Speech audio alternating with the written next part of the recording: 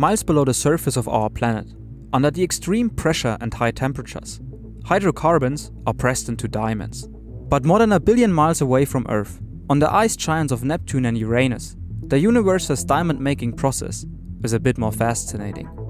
Since the 1970s, scientists believed that diamonds could actually rain down toward the mushy rocky interiors of the planets.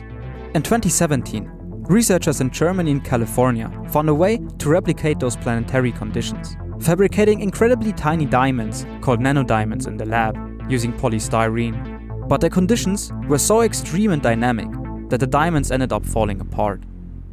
Earlier this year, scientists in Germany tried it again, this time blasting cheap plastic with ultra powerful lasers, but at a much lower pressure, now successfully creating nanodiamonds. And with this, confirming the existence of a new type of water. Using a high powered optical laser, the physicists blasted a sheet of polyethylene terephthalate plastic, which is used in water bottles, for example, and heated it to around 10,000 degrees Fahrenheit for only a billionth of a second.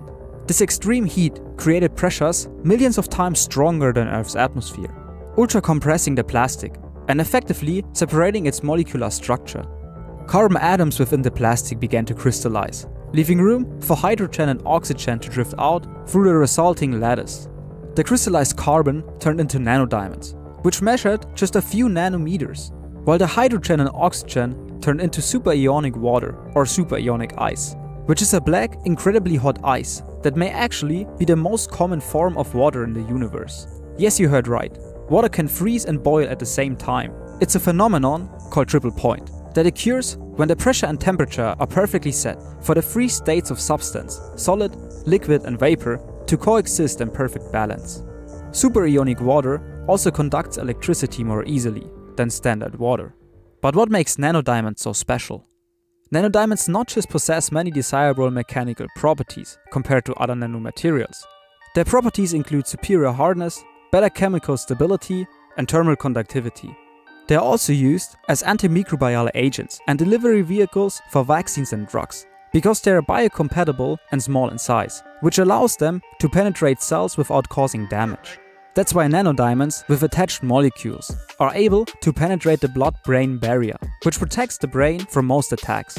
In 2013, a popular cancer-killing drug was bonded to nanodiamond surfaces. The test showed that tumors were unable to eject the compound, which increased the drug's ability to impact the tumor and reduced side effects. And although pure carbon, whether in graphite or diamonds, is unresponsive to magnetic fields, scientists have found a way to still align microscopic diamonds in a magnetic field. Tiny naturally occurring defects are responsible for this. In the future, the small diamonds could possibly be used as ultra small and very precise quantum sensors for temperature and magnetic fields, for example, for better MRI recordings. This experiment also gave physicists a deeper understanding of the nature of planetary ice giants like Neptune and Uranus, whose strange conditions have often baffled researchers. Because although Neptune is an ice giant, it has always been unexpectedly hot, and Uranus' magnetic field forms in a strange way.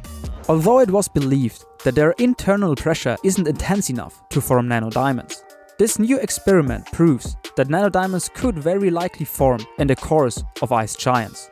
Because like PET plastic, the interiors of ice giants contain oxygen, carbon and hydrogen. The heat will produce a reaction similar to what lasers do to the plastic causing a rainfall of diamonds to travel through the planet's interior. The diamonds migrating through Neptune's interior could create friction that would explain the planet's high temperatures. And the formation of superionic water on Uranus could conduct currents that give its magnetic field its odd shape. This new study provides good evidence that if it is happening at lower pressure than scientists were originally thinking, superionic water and nanodiamonds are probably forming naturally everywhere, not just in Uranus and Neptune, even inside of some moons like Titan. This ability to turn cheap plastic into valuable materials might even help reduce plastic pollution by providing a financial incentive to take plastic out of the ocean or landfills and turn it into nanodiamonds.